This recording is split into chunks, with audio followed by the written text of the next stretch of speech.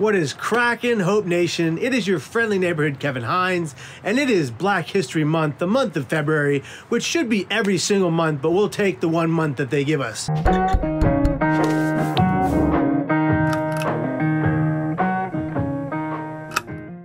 I wanted to take this time to give thanks to all of the mental health pioneers and brain health advocates in the black community.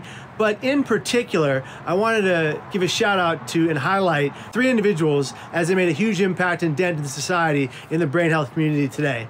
Dr. Solomon Carter Fuller was a pioneering African American psychiatrist who made significant contributions to the study of Alzheimer's disease.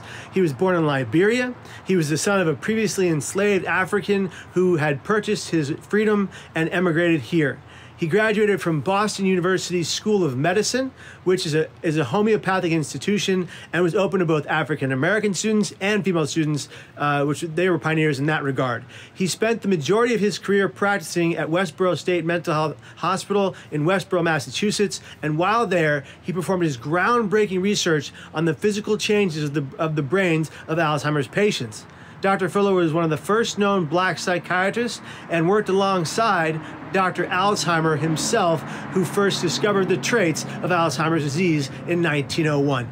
Amazing. The second person I want to highlight is Dr. Paul Cornely, who is the founder of the National Student Health Association in 1939, president of the Physicians Forum of 1954, and founder of the first president of the District of Columbia Public Health Association in 1962. Dr. Cornely was also the first African American elected as the president of the American Public Health Association in 1968. Dr. Cornely's professional work focused on the development of the public health initiatives aimed at reducing healthcare healthcare disparities among the chronically underserved. He also made significant contributions to the civil rights movement through his efforts to desegregate health facilities across the U.S. Additionally, Dr. Cornely conducted research studies in tuberculosis, venereal diseases, and scarlet fever utilization of physicians, extenders, and its effect on the cost and quality of health care and the effects of social and cultural factors on the health and healthcare utilization. He published over 100 scientific and popular articles. Dr. Cornely retired in 1973 as Professor Emeritus in the Department of Community Health and Family Practice of Howard University College of Medicine. Dr. Cornely passed away, sadly, in February, February 9th, 2002 in Black History Month 2002. And the third and final person I want to highlight is someone that I know well today. He's a great friend of mine. His name is Victor Armstrong. Uh, he is the director of Atrium Health.